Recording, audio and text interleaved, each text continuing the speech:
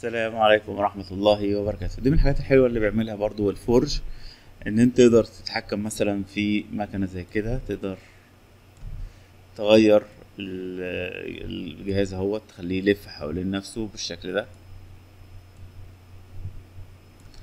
وده صراحة بيبقى ليه استخدام عملي ممكن يكون في مثلا آه، مكنة عايز تعرف هل هتعرف تركب الحاجة دي ولا لأ فتقدر تحركها بالشكل دوت.